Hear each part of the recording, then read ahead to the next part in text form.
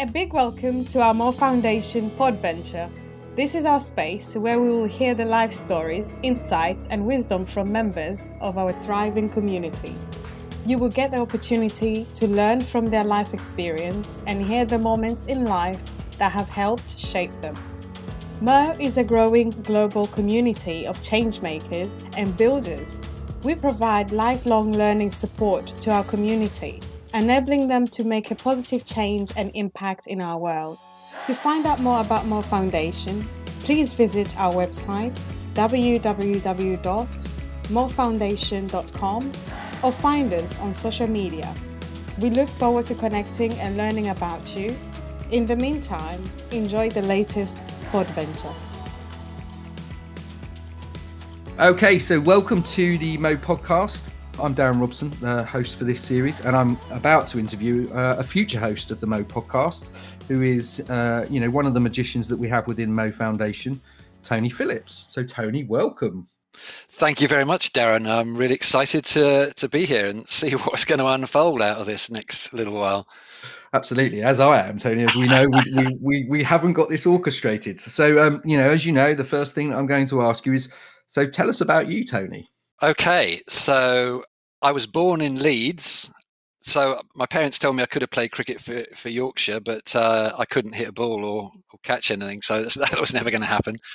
And uh, they were only there for a time because my parents were in the in the armed forces. So my dad was a squadron leader in the Royal Air Force, and my mum was actually a Wren and came out of service at the end of the war. But my dad was actually a Spitfire pilot he was too young to serve in the Battle of Britain, but he did serve over in Italy in the latter stages of the war. And my mum, which I only found out a few years ago because she was sworn to secrecy, worked in one of the um, satellite buildings from Bletchley Park.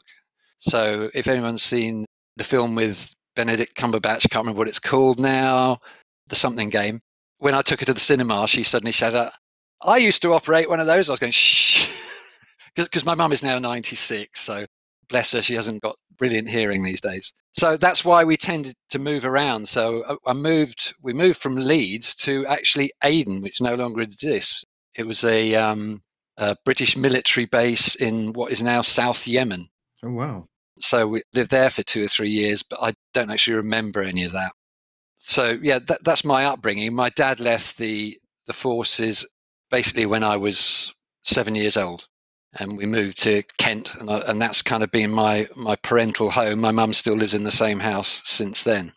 Interesting in terms of background beyond that, there's, there's a couple of things that of interest. One, my birthday is on the fourth of April, and any of you accountants will probably know that's the the last day of the tax year where you can claim your tax allowances. So my mum shared with me that uh, they had me induced and they did a deal with the doctor where they would split you know the tax. No way. Yeah yeah yeah yeah. So it, it probably kind of explains my attitude to money and how money has never been that important to me. I think that's yeah i think it's a very funny story actually. So that's why the 4th of april is my birthday because i was induced to make sure i came in at the end of the tax year so they could get the, the benefits for the entire year. Beyond that going back a bit further my mum was a vicar's daughter but one of her descendants was a guy called Thomas Clarkson, who apparently was one of William Wilberforce's right hand men who helped um, overturn slavery in the UK. Oh, wow. Which is quite interesting. Absolutely. Some of these names, and whether he was a right hand man or just somebody he, you know, who worked with him, I don't know. In terms of from my dad's side, his relatives grew up in Merthyr Tydfil in Wales, mm-hmm. and two of them started newspapers. One of them was that started the Daily Telegraph, and I can't remember what the other one was. It's a paper that probably no longer exists and changed its names. One of them was Viscount Kemsley, and if you go to Chartwell, Churchill's house, yep. you'll see his picture up there because he was one of the people who helped fund Churchill to be able to buy Chartwell. So yeah, that's um, obviously enough, none of this down to me. This is kind of uh, the stock I came from, I guess. Absolutely, it's your stock, and it's also now I understand why I have to doff the cap whenever I see you, Toby. and why you are called Lord or Sire in my world. yeah, very good. That's certainly not what I call myself. incredible, incredible stories, Tony. Yeah. So you grew up in Kent. So talk to me and talk to us about Kent then. Uh, I grew up in a town called Sevenoaks, which after the hurricane of whenever it was, I can't remember the year now. 89, wasn't it? 88, 89. It's, yeah, it's probably 88. It was just after I came back from Canada because although I grew up in Sevenoaks, I then moved to Canada and lived there for nine years, starting in Toronto, where I was a couple of years, then Edmonton, Alberta, gradually moving west, and the last seven years in Vancouver. Amazing. And in those days, I was in IT, or when I started in IT, no one else will be able to recognize this. It was actually called DP or data processing. And the, my very first job in DP, as it was, was operating a computer called an NCR 500, where I had to feed in magnetic ledger cards and it had paper tape and they used punch cards. And they didn't have their own computer, so they borrowed time. The office I worked in was in London Bridge, and they borrowed time from Standard and Chartered's IBM 360 just over the side of London Bridge. And we had this little old guy who drove a moped, and he used to take all the punch cards, the punch girls created to run a program, put them in his pannier at the back, and he'd drive them across the computer. They'd run the program, he'd bring back the printout. I remember one time he got knocked off his bike. He was okay, but all the all the cards went everywhere. So they had to come back and they had to recreate the whole thing. It was quicker than to sort them into order. So yeah, I mean, it's bizarre when you think about it. I remember my dad when he left the Air Force, worked for a company. Um, IT or DP, as I said, as it was then, was looking for people from the forces who were had experience of people management. So my dad got a role with, with one of those companies. I remember going with him one Saturday to Croydon and watching this IBM 360 being lifted by a crane up into this floor several stories higher uh, to put it into this building, into this air conditioned unit. And obviously, that whole computer was less powerful than my smartphone right now. So, how things change yeah, and we'll carry on with your career story. I just want to stop there for a second because the other thing that's so incredible is that I believe both your daughters are in Vancouver now. Is that right? They are. They are at the moment. Yes, I've got got a son and two daughters. Both daughters are currently in Vancouver. They've both got Canadian citizenship, partly because I'm dual citizen. I took out citizenship while I was there, and just so happens that Nikki, my partner, was also born in Toronto, and her dad was working there. So she came back when she was two or three, similar to me in leaving Leeds. And so she's got citizenship. I have too, but because I wasn't born there, you know, our daughter gets her citizenship from Nikki. Right. And Caitlin's out there. She's my youngest, and her boyfriend is on a two year working visa. So they've just been working. They arrived there actually on, I think, the 2nd or 3rd of March last year, just before lockdown happened. So it's been a little bit trying for them, but they've certainly, you know, explored their way around a bit when they could, and they've actually now just quit their jobs and have bought a car. They've got a an SUV that somebody's built a bed in the back for them, so they're living in it, and they just went off on Sunday, and they're they're traveling around BC at the moment, just exploring. So they're having a good time. My other daughter, Sydney, who is actually she's a qualified MOE coach, my ex-wife was a dancer and a dance teacher, so Sydney was a dancer from the age of about two or three, and followed that as a career and worked as a performer, but is now a choreographer, come movement director and director. So she's been really lucky. She's one of the few people I know who's tra- been on three different continents during COVID. So she started off. She was assistant director on a play in Tokyo when COVID hit, and she made a beeline back to Vancouver and she's decided to make that her home now. But she's been back again this year to do the same show again with a different cast with the director from the UK. And she's actually coming back to the UK in August as well to do some work. So she's one of the few people in, in the arts who've actually had some work and she's been in Asia over in Tokyo. She's been in North America and Canada, and she actually already came back here at Christmas to do some work as well. Incredible. So, yeah. Well, and Toby. Yeah, Toby's my eldest. My son lives in Sevenoaks, about 12 miles away, and he's got uh, two lovely children, my grandchildren, who are 10 and now four. Yeah, so they're great fun. So I do get to see them quite a bit. They live about a mile away from where my mum is. And he's, uh, you know, one of the things we'll get into is one of your passions is uh, music, isn't it? He's a muso, isn't he? He is. Yeah, he's a very talented musician, far more talented than me. I was always passionate about music from the age of 10 or 12, I think. I think it was listening to Motown, people like the Supremes, and switched me on to music.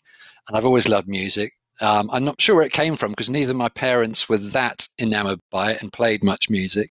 But I didn't actually start playing or performing until I think it was my 30s, actually. A friend of mine in Vancouver who'd never been interested in music was having saxophone lessons. And I thought, well, if he can do it, I can do it. So I started taking saxophone lessons. That then changed when I came back to the UK. I, I took a few lessons here and then I kind of let it go. And then my brother in law was heavily involved in the church. They were looking at setting up a band to do some fundraising for the church. And the vicar, the vicar of their church, was a uh, semi pro singer in the early days of pop, I suppose it was, from the 50s or 60s. I'm not quite sure exactly when and he was the singer. And at one point, they were doing lots of sort of old throwback things like Wilson Pickett in the Midnight Hour. And at one of their rehearsals, he said, "We could really do with a sax on that."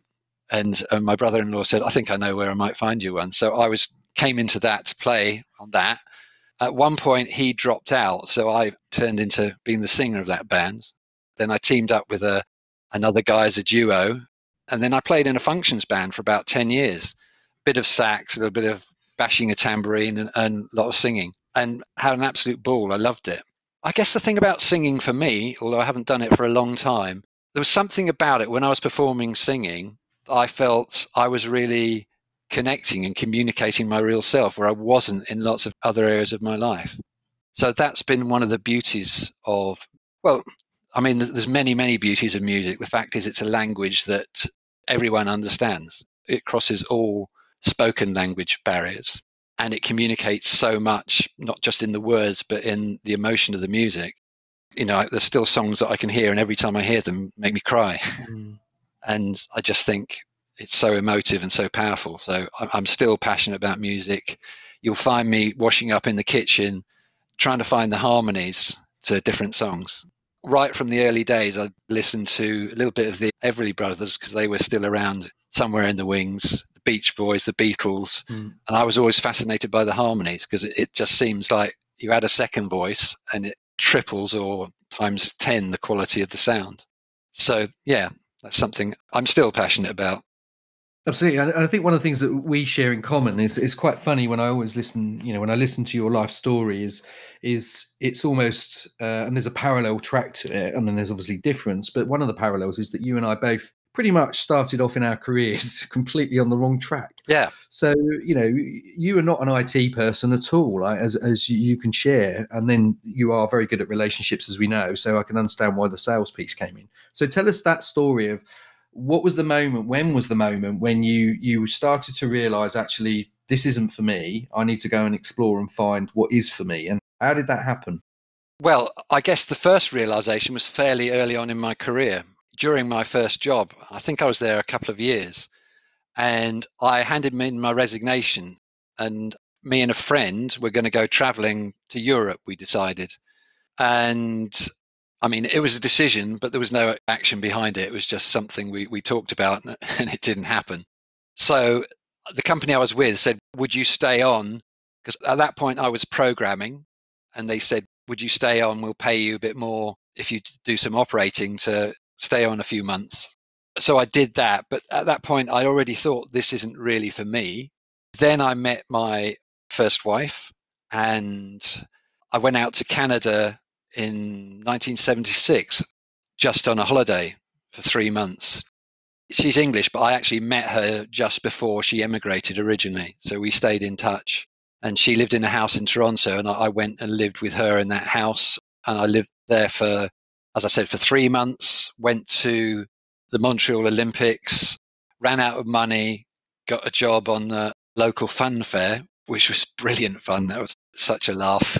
So, so I worked on one of those machines where you sign a piece of paper and you put it into this so-called computer and it spits out, um, you know, it tells you about who you are. It was great. These people would come along and quite often a girl would say, oh, I've done this before, it's brilliant. And her partner would go, Yeah, yeah, I don't believe in this. And she said, Go, go on, do it. He'd go, Okay, I'll do it. And it came and he went, Actually, this is really good.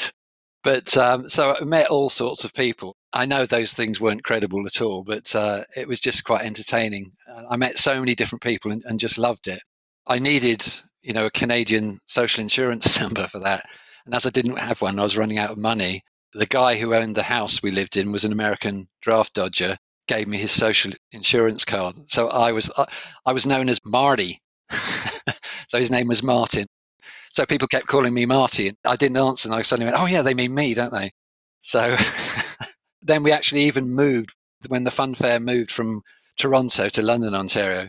So yeah, that was a lot of fun. I had to get back into IT then because I got married and fairly soon after we had children. So I had to knuckle under, but it never felt like it was me mm. all the way through. I wasn't bad at it. I was quite good actually, but it just felt, let me put it this way. When I left school, I said, I don't know what I want to do, but there's one thing I know I don't want to work in an office. Mm. So I tried at that stage, I wasn't aware of other possibilities. So I tried various labouring jobs and I didn't rate them too much either. I think the, the longest I lasted in one was about three weeks.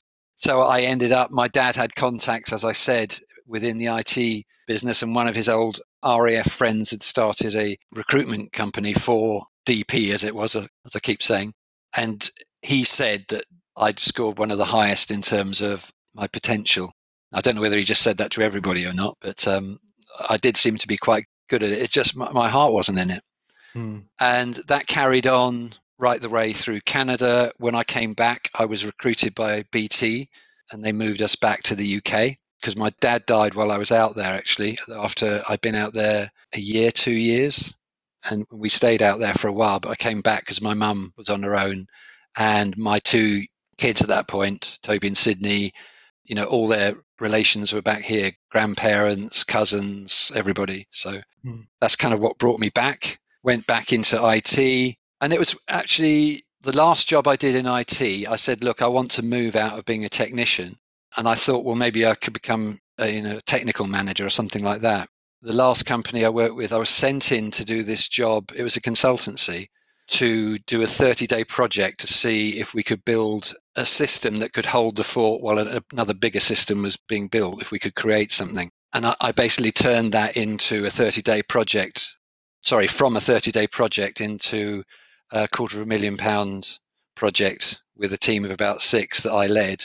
And the consultancy I worked for, they said, they said, you seem to be quite good at building rapport with people and gaining their trust quite quickly. And I went, Am I? I didn't know that. And they said, You should go into sales. And I said, Wait a minute. I'm not sure about that. anyway, that's what I did. And once again, it still wasn't quite right. And I stayed in that. And then I joined a company where I came across somebody who'd done a personal development course. Uh, it was actually called the Landmark Forum. And she didn't push it on me. I just said to her, it's a fairly small organization. It was actually an Indian IT company. We were the offices in the UK. All the development was done over in Delhi and a couple of other places within India. And I got a chance during my induction to talk to everybody there.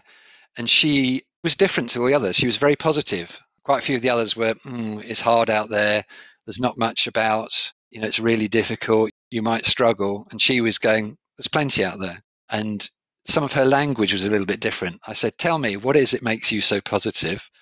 And explain to me some of these words you're using. And she said, Well, this all comes from this course I do. And I said, I want to do that. So I basically signed up on the spot and did that course. And that was where I first came across coaching. Mm. And that was also that weekend, that very first weekend I did that course. I remember coming back taking my dog for a walk in the park on the Monday morning, the day after the course, thinking, why didn't I learn these skills about listening to people and about you know how to deal with relationships and relating to other people in school? You know, all the stuff that I learned in school, most of it, I used it in exams and then promptly forgot about it.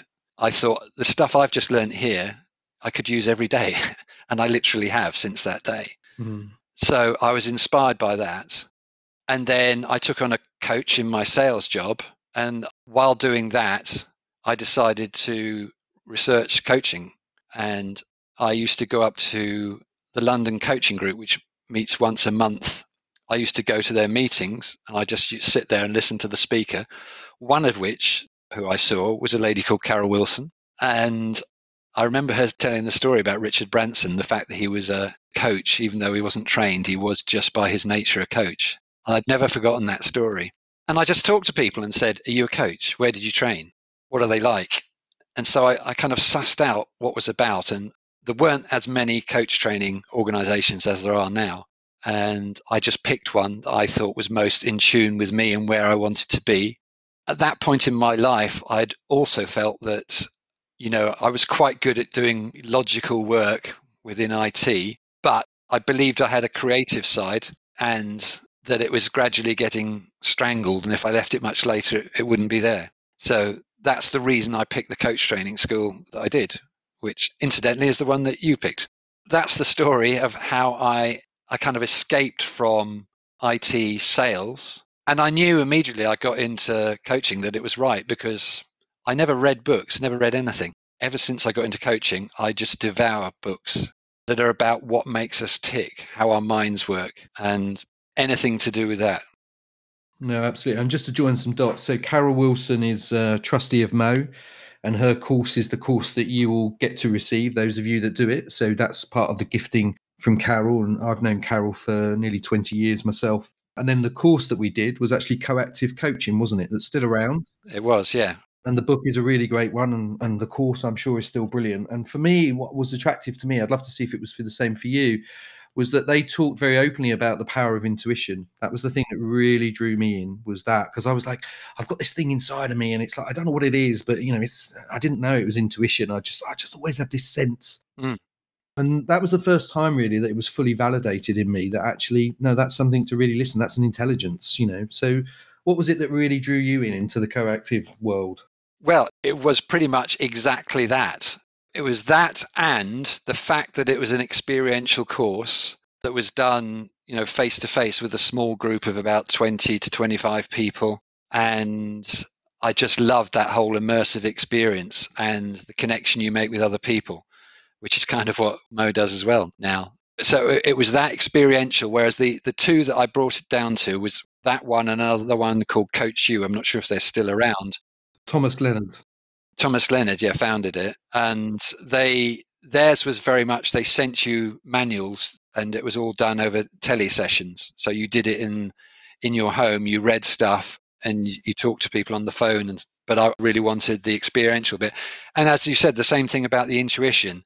The intuition, the creativity for me went together, and I love what they said on that course that we all have intuition and it's talking to us all the time and it's always telling us the right thing. It's just that we've lost practice of actually listening to it. So sometimes to begin with, we misinterpret it, but it's still telling us the same thing. And the more you use it, the more you get to understand what it's trying to tell you. And I do believe that to this day.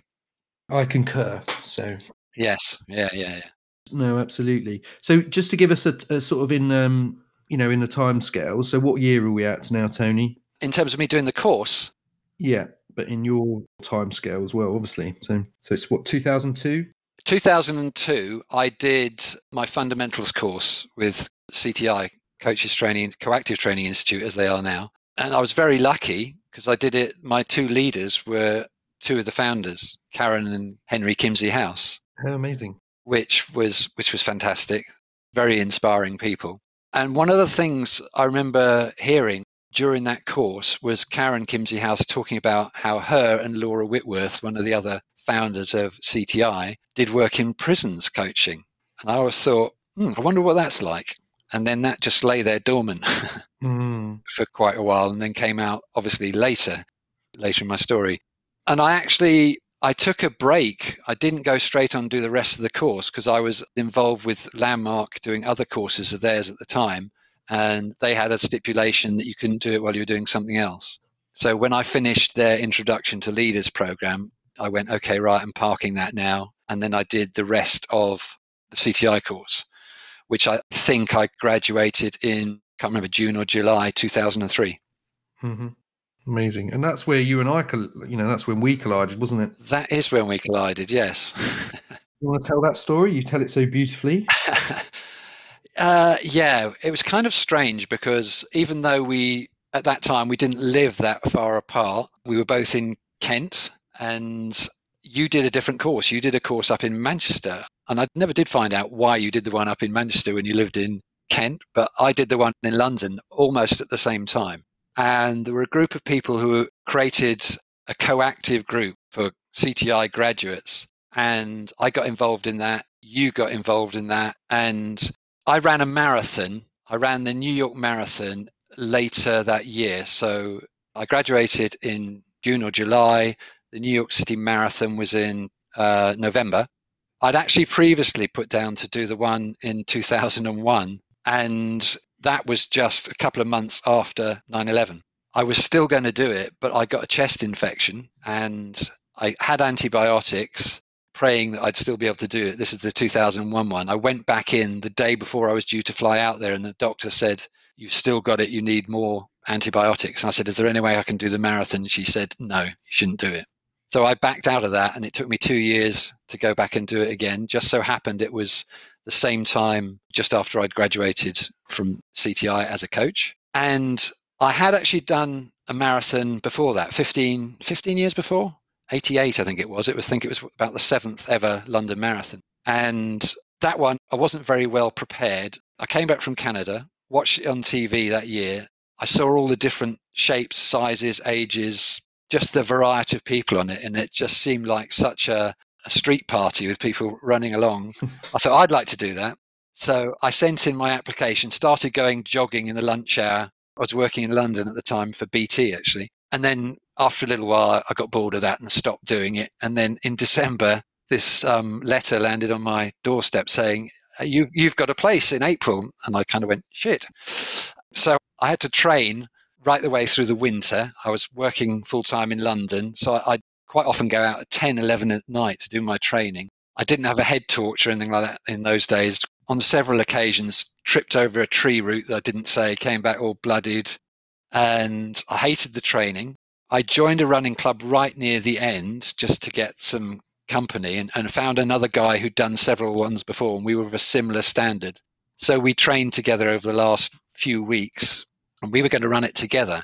And we got to the Isle of Dogs, which is about 16 miles into it, another 10 to go, and someone cut in front of my buddy and he stopped, had to stop immediately, and both calf muscles locked up and he couldn't release them at all. So he kind of hobbled the rest of the way back and he said, You better go ahead.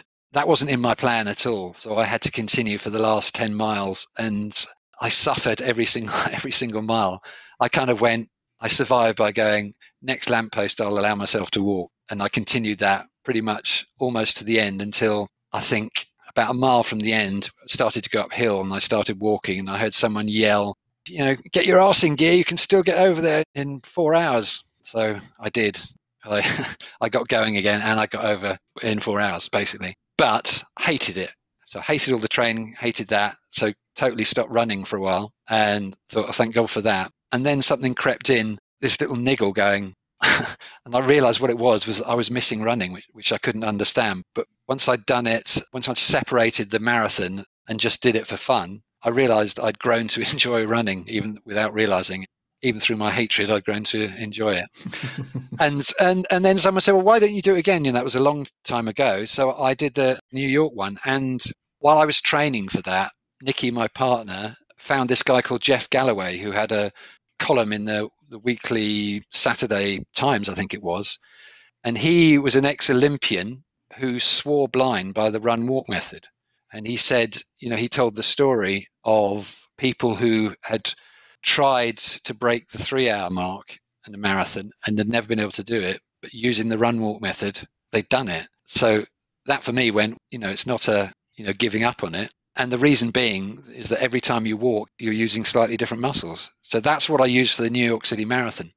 And although it was slower than the one I did 15 years earlier, as I crossed the finishing line, I went, I love that. I want to do another one, which was very different from my first experience. And so a few weeks after coming back from New York from the marathon, I was thinking, what can I do? I'd like to push it a little bit more than a marathon, but I don't think I'm up to an ultra. And then on a long Sunday run, this idea came into my head about, well, I've just qualified as a coach and I want to do something more with a marathon. So why don't I run the marathon while coaching people who are at home over a mobile phone? And they call me and I coach them on the way around. And I thought, yeah, that's a good idea. and I came back and, and I told my partner, no, apparently not a good idea. I told my brother and sister, friends, apparently not a good idea all round, actually. And everyone was saying, well, shouldn't you really be marketing your, your business? Isn't that what you should, you know, you've just qualified as a coach, you've actually quit your job, so you should really be putting a lot of effort into there. And I went, yeah, I know, but there's something in this that says I need to do it. And I don't know what it is. I have no idea, but I want to do it. And I started telling some people in um, in the coactive community about it. And some of them were, wow, that sounds cool. But no one else said, yeah, I'd like to do that until this guy phoned me. And it's a guy called Darren Robson. do you fancy a, a co conspirator on this?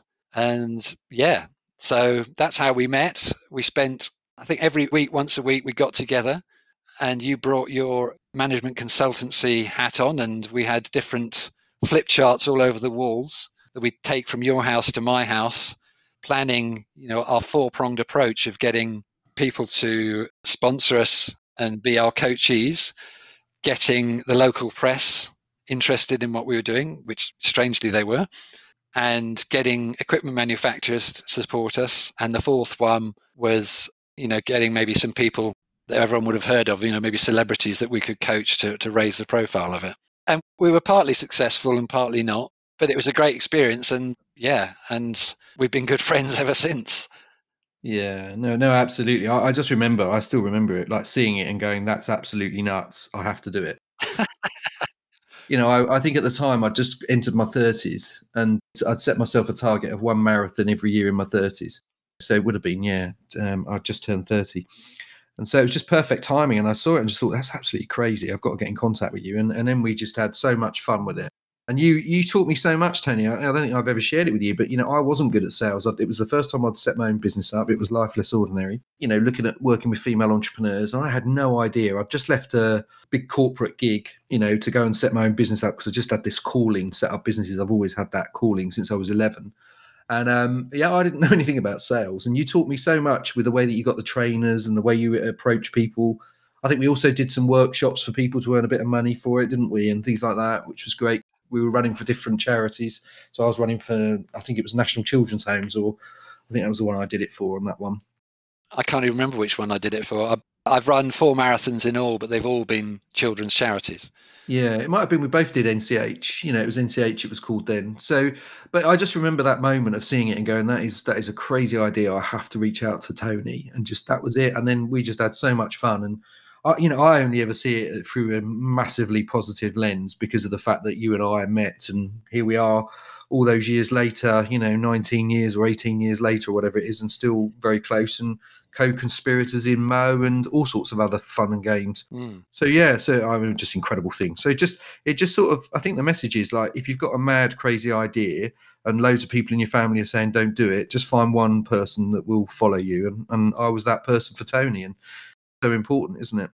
Yeah, and it's through meeting you I'm involved in MOE, and through doing MOE I found Spark Inside and also from doing MOE, I found Young Women's Trust. So most of the work I do now has come indirectly through meeting you. So um, all those people who said you should be doing marketing, I actually was doing marketing. I just didn't realize I was. Absolutely. Yeah. Yeah. And likewise, I mean, it's, you know, we've tracked along together for all those years and just learned from each other, Tony. I think that's what's so incredible about it. And just, you know, I've always tried to kind of have a bit of a safety net, whereas you've always just been really brave and just gone, no, I, I know I want to run my own business and I just want to keep doing this. And you know, you've written all sorts of different articles and done your running. So why don't you share the stories of of how that started to emerge, how you turned your passion for running into a passion to help other people? Yeah, okay. Um, I carried on running with a running club. I'd turn up, you know, once a week. There's socials, everyone would meet, someone to set a route, and then everyone would go off and, you know, I quite enjoyed that. I've never been a good runner, as in fast. I've always considered myself mid to back of the pack. I mean, you know, I, I ran the other day and a father and son ran up the hill, overtook me, and just disappeared into the distance. And that, that's always been what I've been like. But there's something about freedom for me in running. So I've quite enjoyed it and the way it makes me feel. The fact of, you know, exercise and movement has been important to me. I've always said that the main thing I got from my schooling was, you know, not necessarily the exam results, but my love of, of sport and physical movement. And that stayed with me right the way through my life, with some exceptions. I think when I first moved to Vancouver, I didn't do any sport for a while. So when I joined a football team, I was shocked with the first time somebody kicked a ball to me, and I went to trap it, and it and I missed it completely. but I actually got back into it and played in a league for quite a few years until I wrecked one of my knees. But anyway, so I tried a few times. I, I was curious about whether you could run every day, and, and all the books and everything would always advise you to you know run have a day of rest so run maybe three or four days a week and have rest days in between or do other exercises but I've never been into gyms. And football and squash, which are the two sports that I enjoyed, I tore a cartilage in each knee. So one over in Canada playing football, and the other on the squash court playing squash. So those sort of things weren't available to me. And strangely enough, did all four of my marathons post those cartilage operations. Everyone kept saying, "Well, can you do that?" And I went, "Yeah, it's okay." and I tried a few times running every day, and I got up to about ten days in those days I thought running was had to be sort of five or six miles minimum. But when doing that, you know, at the end of 10 days, I was just knackered and I just couldn't go on. I thought, I can't do this. And it was Christmas time, 2009, people started asking, what, what are your New Year's resolutions? And as I've been a coach for a while, I'd seen people set themselves or say what their New Year's resolutions were going to be. And invariably, most people failed on them. So I said, Well, I haven't actually got a resolution, but uh, I know what I'll do. I'm still intrigued by this running every day bit. I wonder if I ran a mile a day, if I could do it for 31 days for the, the month of January. So I set myself an experiment to see if I could do it for 31 days and got to 31st of January and I found it easier than I thought it was going to be. I thought, yeah, well, actually, if you do something small enough that it's not going to impact you heavily for the next day, it seems that you can do it. So I then went, well, I wonder if, I wonder how long I could do it for. Rather than just say, let's see if I can do it for February, I just extended it to, let's see how long I can do this for. So it was open ended. There was no target. It was an experiment. And I started doing it. And at one point, I started writing a blog about doing it. And someone else involved with a running club saw what I did. And she had a role at the time as assistant editor for Running Fitness magazine. And she said, I like your blog posts you do. Would you write something for Running Fitness magazine? So I did. I sent it in and they liked it. And they said, Would you be interested in doing a monthly column? And if so, could you send us some ideas of what your first few articles would be about? So I did. And they said, Yeah, we like that. So I ended up writing for this magazine for just over three years. I think I did 40 monthly columns over that time. And yeah, so that I really enjoyed. It was very different from any of the other columns in the magazine because most of those are about how to improve your running. And mine was actually a coaching column disguised as a running column. because what I wrote about was what I learnt about life and about myself, A, from running, and B, from having a powerful daily positive habit. Because mm. I began to realize that having a powerful daily positive habit is one of the keys and that's something that i'm still working on but i think it's one of the most fundamental things. Coaching is great and everything but we all have ups and downs and we need something we need to work on on a daily basis that helps us to you know to reach our potential. Because i used to get knocked down quite badly. In fact you know if something the rug was pulled from under my feet i kind of lie there wallowing for a bit and took me a while to get back up again. And I found that by doing the running, I could bounce back a lot quicker. Mm. And so I thought there was something in that. And and occasionally I get a letter into the magazine from somebody saying, I've just got your magazine and I've just read Tony Phillips' article, a mile a day, and I've run several runs, but I've always been the last place. And quite often they're packing up the finish line by the time I get there. It's always very disheartening. I just think, why do I bother I'm useless. And then this one letter I'm thinking of, this person said, But I've just reading that, I realize I'm a winner. When I compare when I started running, I couldn't, you know, get up the stairs without getting out of breath. Now tomorrow I'm going to be running this 10k and whatever I do, whether the finish line's there or not, I'm a winner. And thank you for for making me realize that. And just things like that made me realize the impact it can have on other people. But even then, it took someone else actually to say, you should do something with this and share what you're doing other than the magazine. So that's where, you know, my Facebook group came came about. And, you know, there's various people doing it. Not not all running, but some just some walking. I say just walking. It's not just walking, it's walking a mile every day or running or cycling or swimming or whatever you choose to do. It's really about getting outside in nature and moving forward has a magical quality. Absolutely. Yeah, no, I love it. And it's um we'll make sure that the links are on it when we publish this. I mean, we can get into your coaching stories in a bit, but I think what would be more fascinating for people to hear, because I just love the eloquence and just the clarity that you've got, you know, as, as we often do, because we love reflective practice and you can hear it in the way that you've you glean every inch of learning out of every experience. You really do. It's just fascinating to me. And in this journey, one of the things that I know that you've struggled with and of now you're on, you know, you own it is your voice. Mm. So share that because so many of us, me included, you know, and others, you know, that's something that we've all and we all struggle with at different times. And I love the way that you talk about life is a bit up and down because I think that's so beautiful to share. Because I've never ever met anyone who's a creative soul, spirit, intelligence who doesn't have a bit of a roller coaster. I've never ever met anyone that doesn't. And yet we make it wrong. Like it's like, oh no, you've got bipolar or you're mentally unwell or unstable. It's like, well, no, actually, life can sometimes, you know, it does pull the rug under your feet and it doesn't feel great. And, you know, sometimes you do have to wallow in order to kind of find the, the genius within. So you know share you know your how your voice how that process has unfolded the kind of if you like the imaginal cells of the tony butterfly i'm not saying you're a butterfly but for the moment let's go with that metaphor because you know you do flit and fly around all over the place now you know making people feel good so uh, that's what a butterfly is to me so there you go you can be a butterfly for a second Thank you. I assume that's a compliment, Darren. It's a massive compliment. I'll take it as such. something you may not be aware of that I've realized recently, and that is the reason that I didn't have a voice was when I was at my junior school, I suffered abuse at the hands of a headmaster. And I'm not going to go into that. And when I went on to senior school, I was quite small and I was bullied. So my response to that was to hide. Mm. My response was to stay invisible because I wouldn't be seen and other targets would be picked instead of me. Doesn't sound very uh, generous, I know, but that was just self-preservation.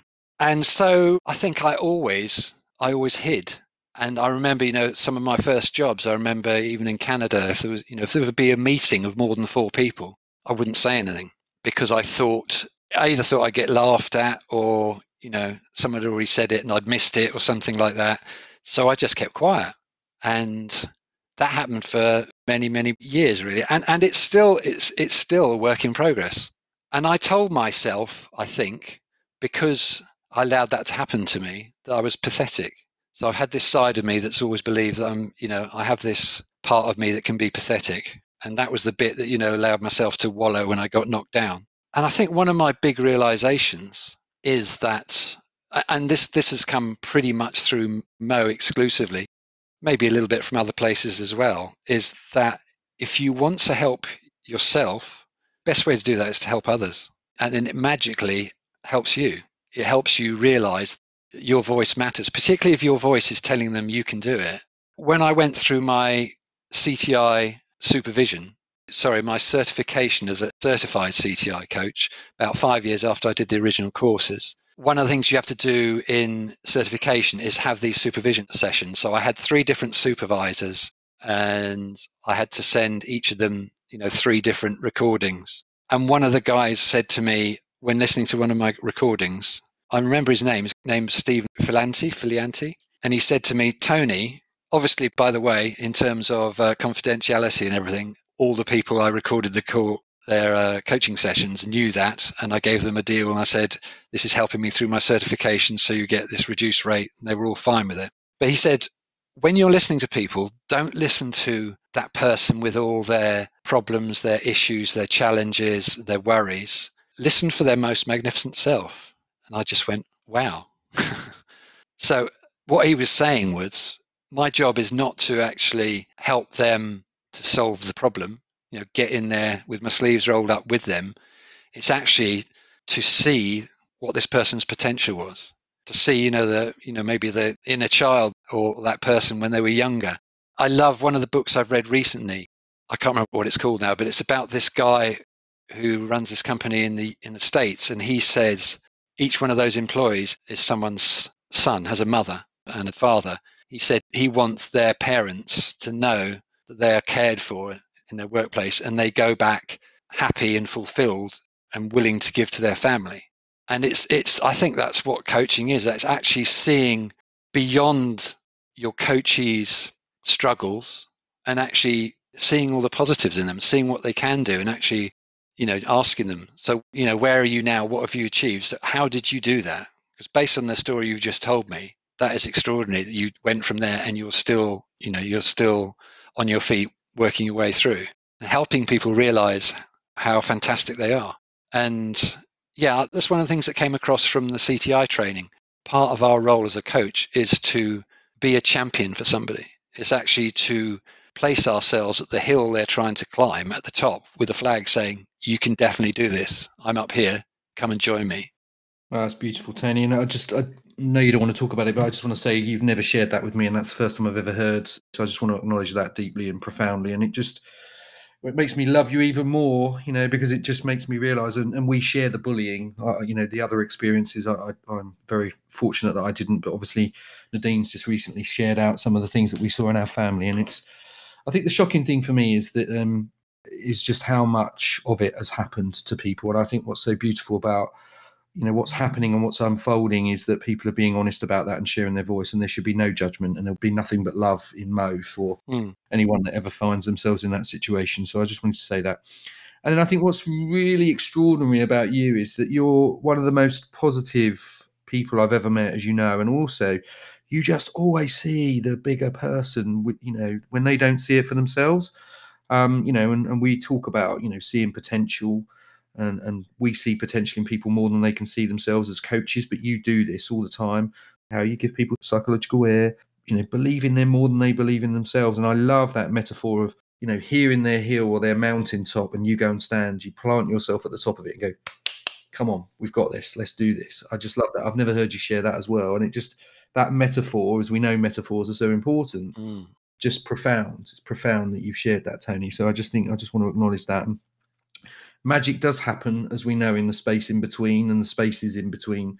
Um, you know, and you role model that, and uh, you know, as we hear and see all the time from the feedback. So, um, incredible, incredible that similar, you know, similar experiences in different ways that you've transcended the, the, the you know the people that have hurt you and you've instead of gone to fear you've gone to love. Like you are one of the most loving human beings i've ever met in my life and it's just incredible.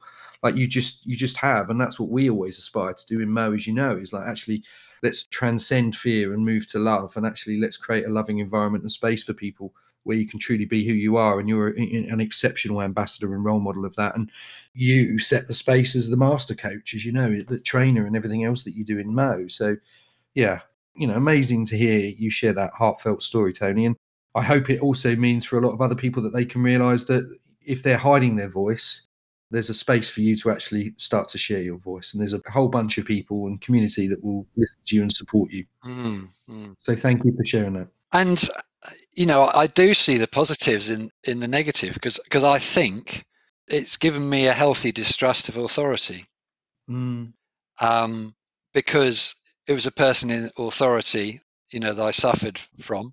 And even the bullies, they, they had physical authority over me because I was too small. And in actual fact, that's why, in a lot of ways, I've struggled with some of the corporate environments because there is a lot of abuse of power. And I'm, I'm only just realizing even now that, you know, that is almost a crusade in itself as well.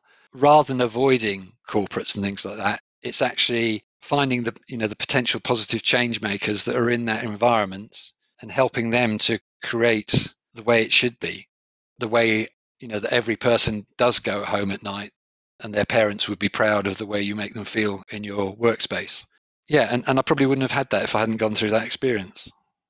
Yeah, no, absolutely. And I, just to build, you know, and and you know, in this sense, is that you and I have always talked about loving leadership, you know, and actually, you know, the fact that in so many organisations, and I'm starting to see it change, which is really positive, is that we can't talk about love, we can't talk about family, and actually it's that's everything you know all corporations are just a structure of people you know it's a system it is a family system whether you call it that or not and actually you can have an abusive family system or you can have a supportive loving family system and i think the really powerful thing that covid has offered is is that opportunity to start to transcend that because organizations have been forced to trust people because they work from home there's lots of other learning we don't need to get into that but i think just to build you know with you on that and and reinforce with things that we talk about off mic you know, is loving leadership. And actually, we need more leaders that transcend that and bring love, uh, both, you know, male and female, feminine and masculine. And I think we're starting to see that.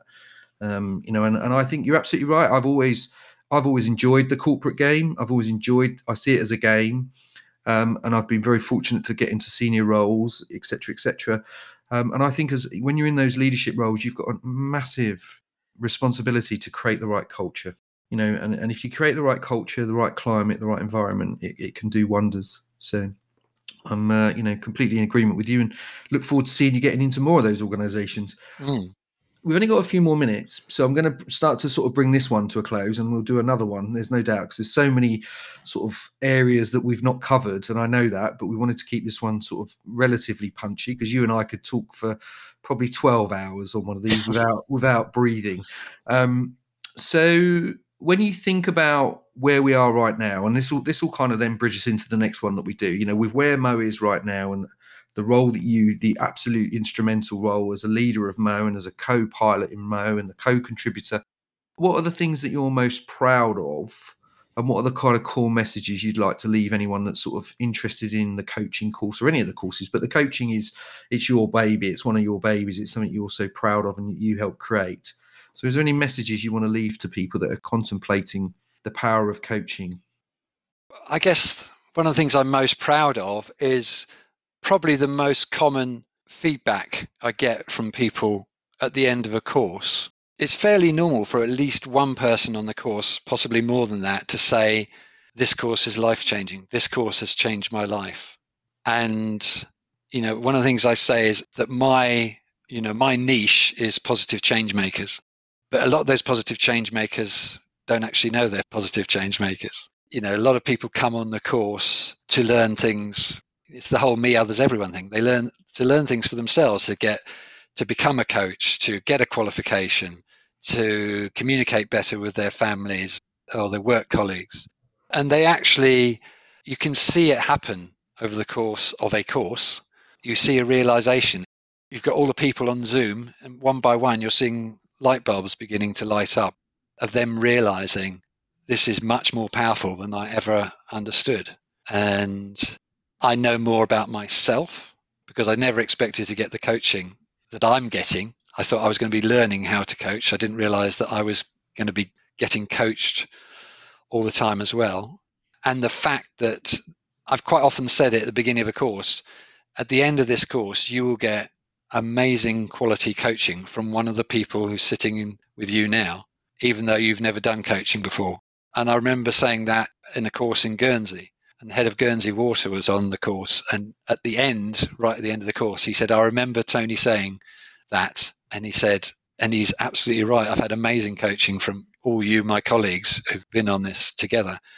So it creates human connection, which is one of my top values, connecting at not just you know level of uh, are you going to watch the game tonight? You know that type of thing. But um, that's that's quite topical.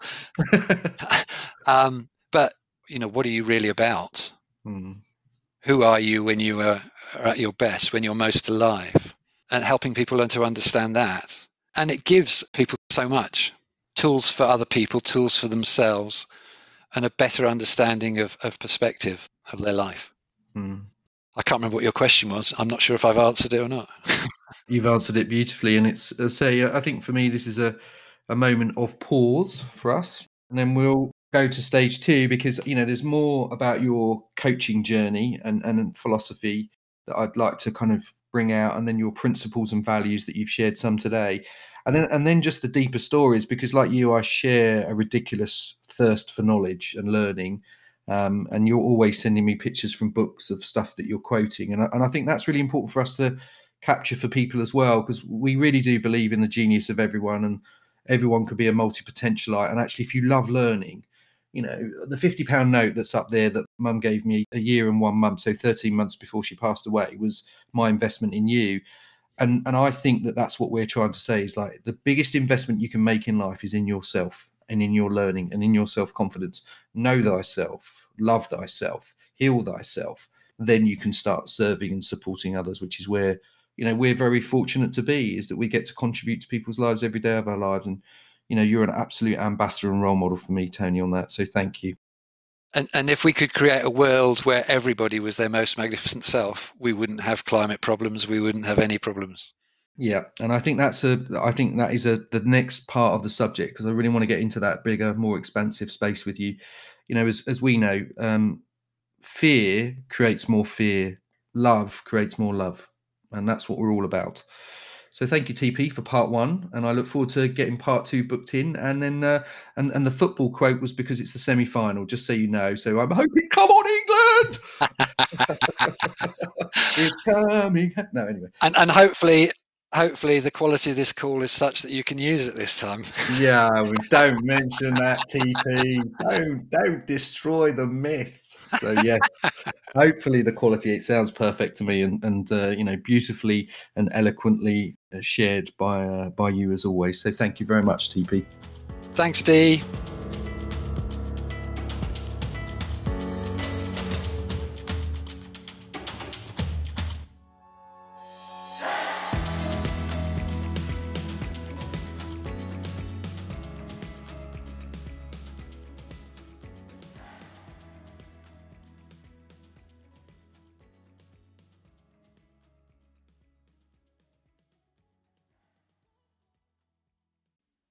This is a message for anybody who thinks that life coaching might be the right calling for you, but you're not sure how to attract new clients. So, on the 17th of April, we will be having our next MOE Digital Academy.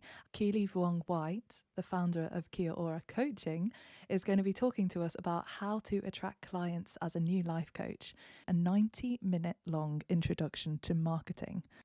Now, she's had a fantastic life and has spent 15 years in international corporate marketing and has also learned a thing or two about setting up a business. And she's also done her coaching with the MOE Foundation. So she's going to be running a fantastic workshop. We hope to see you there. If you're interested and you'd like to register, then please find more information on our website. That's moefoundation.com forward slash calendar. Thanks so much, and we will see you there.